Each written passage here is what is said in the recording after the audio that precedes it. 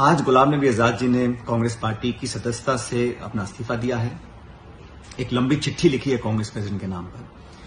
मैं समझता हूँ जो टाइमिंग है इस चिट्ठी का और इस्तीफे का, वो बहुत दुर्भाग्यपूर्ण है। क्योंकि 50 साल के लंबे अरसे तक कांग्रेस पार्टी में तमाम पदों पर रहने के बाद यूथ कांग्रेस, सांसद, मंत्री, मुख्यमंत्री, नेता प्रतिपक्ष, इतने पदों पर रहने के बाद आज ज़रूरत थी देश को और पार्टी को कि भाजपा के शासन के खिलाफ ठीक उन मुद्दों को उठाएँ, जिन मुद्दों को अदा साहब उठाते थे, सदन के अंदर, राज्यसभा के अंदर, महँगाई का, भ्रष्टाचार का, बेरोजगारी का। उन मुद्दों के खिलाफ कांग्रेस पार्टी रैली कर रही है चार तारीख को।